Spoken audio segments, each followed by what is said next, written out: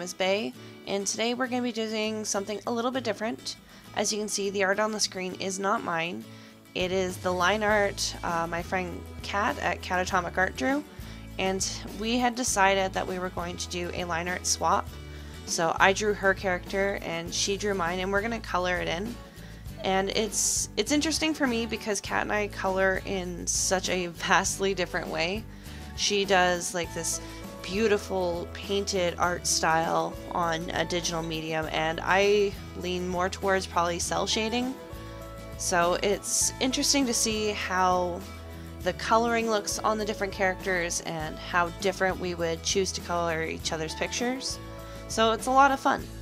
So this character here is uh, my OC Nami and I've had her for probably 10 years and it she's actually how Kat and I first met.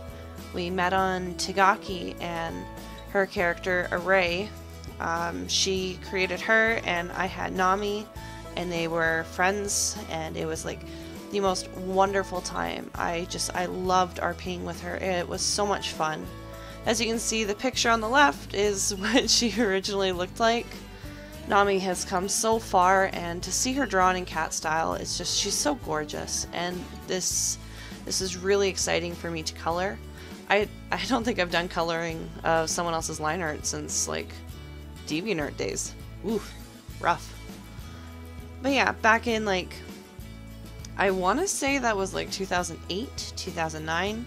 We created these characters, we had these stories with them, and it's just amazing to see how much they've changed and how much different, like, how different we drew them, you know? Like, Nami, as you saw, she was uh, pretty pretty sketchy. The the website Tegaki was uh, I had a hard time with it. I was originally a mouse user rather than a tablet user, so it took a long time to kind of get into that groove of it. But I digress. We all change, right? We all come from somewhere. So the first thing about Kat's line art is she draws a lot more freely than I do. I have to have these like super crisp, almost like they're almost static lines like you there's no movement to them whereas kat she's able to get these wonderful gestures and movement in her art which i really really admire.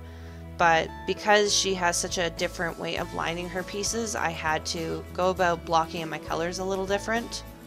Because if i'm being honest I, I rely pretty heavily on the bucket tool normally just to block in my flats which i still did. But you know as you can see on the right, that's how I draw Nami now. So she's come a long way from the picture that was before. And even even Kat, she draws her hair just so gorgeous. Ugh, I love it so much. So, but yeah, in order to kind of keep the integrity of the lines, I set it as a multiply layer and I blocked in all my flats the best I could. Unfortunately, I um I had messed up earlier with the skin, so I had to redo all the skin for colors, I... Nami, I always put her in blues. She was a water elementalist, and I always drew her in blue just to kind of go with the theme of that, and it's it's never really gone away.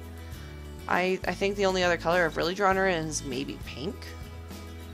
But she was in this comfy looking jacket, and it looked like a maybe like a big cozy sweater or maybe like a snowboarding jacket and I thought that would look good in some nice blues and whites.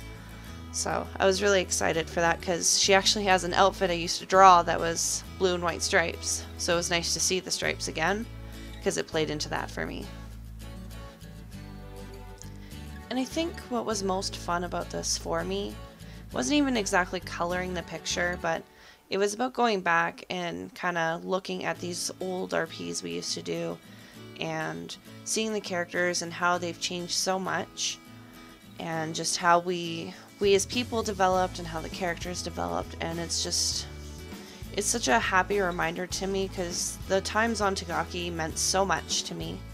And meeting Kat was just an incredible experience and I've always admired her and her work. And to see how far she's come it's just it fills me with joy and I'm just so excited to see how far she's come because her like when I first met her I was stunned by her art and I'm still stunned by her art because she's just incredible the the movement she can get, the the way she colors things, and just the the designs of her character. I just I love it all.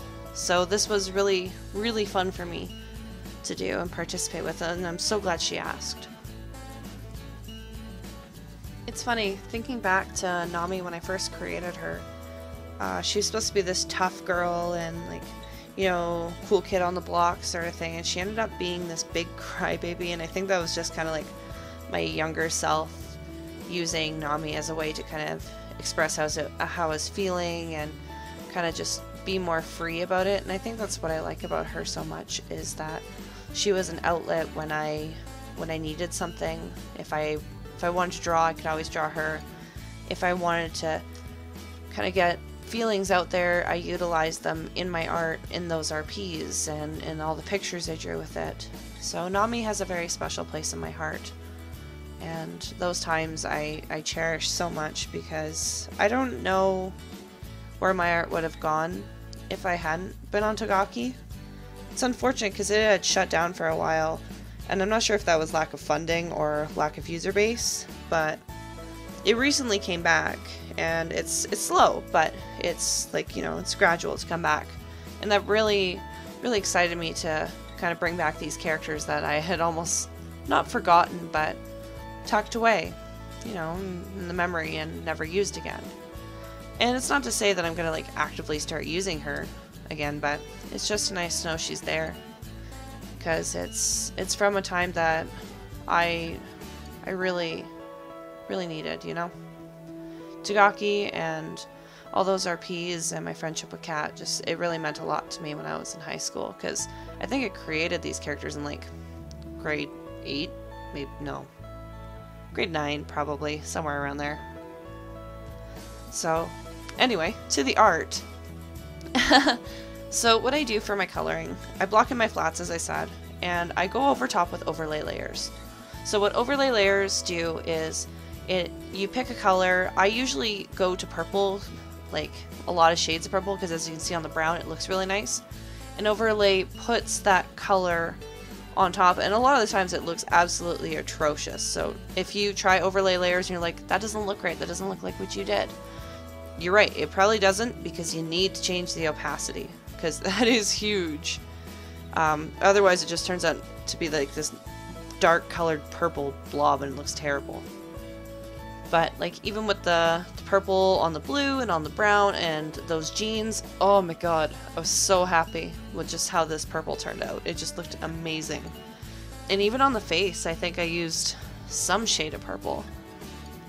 And to darken it, I wanted to keep it soft. It's I've always liked to keep my art soft.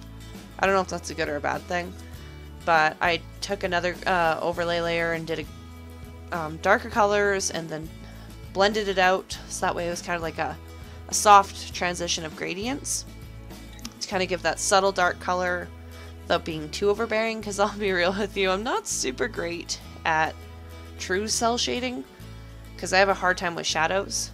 I tried to kind of keep all the shadows where they should be. I wanted the light source to be kind of like from the right going down towards her, so, or from the side towards her, I'm not really sure. I didn't have an idea like where she was in this, but I took the reference of the lines underneath her chin as um, like hatch marks as to where the shading should come from, and I kind of ran with it from there. But all in all, this this coloring, I was I was so happy with it. It's been so long since I did digital media. I got kind of involved in traditional for so long, so this is kind of not to have to worry about the drawing itself was quite relaxing, so. Yeah, sure, like I had to draw my own picture. But I had done that before and it wasn't, you know, it wasn't a big deal, but oh, see? Overlay. If you have it at full opacity, it looks terrible. I think I learned this technique on Tumblr somewhere. I don't remember. But it's it's really worked well for me. And it just it looks so soft and it just I, I love that. I kind of wish I could could like maybe made it a little darker, but I tend to stay towards pastels. I really like soft colors. It just it's pleasing to the eye for me. And people who can use those bright colors, oh my goodness. Good for you. I wish I could do that. all in all, all I can say is really that I'm just, I'm so happy with this. Uh, the way I colored it and it just, it turned out so much more better, so much more better, so much better than I expected. And I'm really excited for you guys to see how Kat colored my picture because I just, her style is so beautiful and her painted pictures just look stunning. So I know she'll make it look amazing. I, I hope I did this justice. I really tried really hard with this and I, it's not that I stressed about it, I just, I had fun with it. I just, I really wanted it to look good because it, well, it, I don't know. You never want like something you make, uh, you do with someone to look bad, right? So, with the, with the light colors here, I'm just doing a, a screen overlay in case you guys are wondering. Be careful with that because it will, as well, much like the overlay, it does overpower, so you'll really have to fiddle with the opacities there. Like, I'm when I do the skin overlays, it just, uh, yeah, it, it came out basically white. And Nami's already pale. But, you know. It's funny, actually. Um, with Nami, I remember I was so afraid that I was going to make her overpowered for, like, the longest time. So I had, like, so many of her abilities, like, locked down. Like, she could only control water. She couldn't control ice. Or she couldn't control a lot of water or else it would physically harm her and I, I don't know why I limited myself like that. I It wasn't until I watched Avatar The Last, uh, the last Airbender that I actually started to branch off with that and, you know, kind of make it work. So, yeah. Young me was uh, not super great at writing, but I'm glad I'm glad that everybody had fun when we did RP, you know? And I'm glad that Kat was able to tolerate my uh, cringiness. Oh boy, because uh, Nami was just just a train wreck.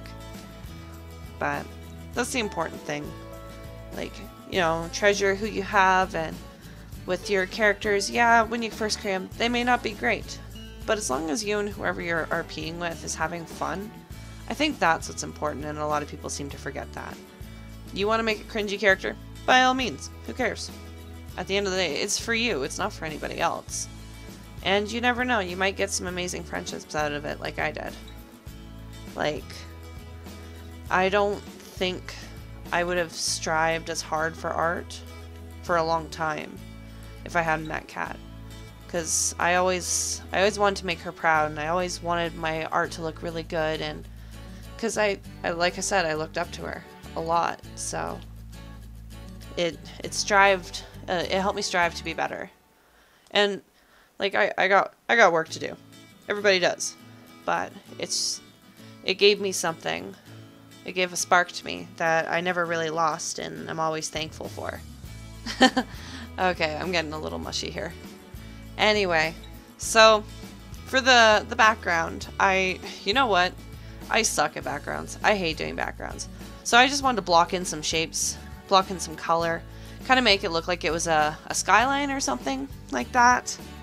Kind of, or a city line, sorry, not a skyline.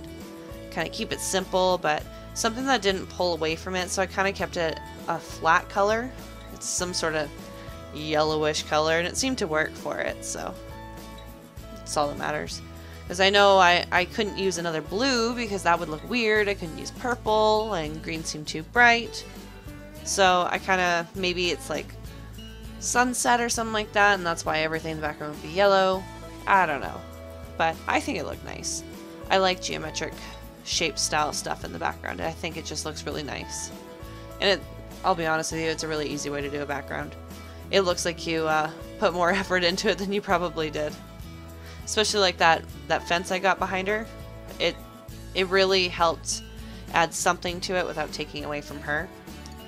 So that, ooh, yeah, some of those colors that I did on that saturation just did not look good. I couldn't, nothing else looked good but yellow. Probably because she was blue. So that's probably why I stuck to yellow. But anyway, I hope you guys have a wonderful new year in case I don't get another video out before the end of the year.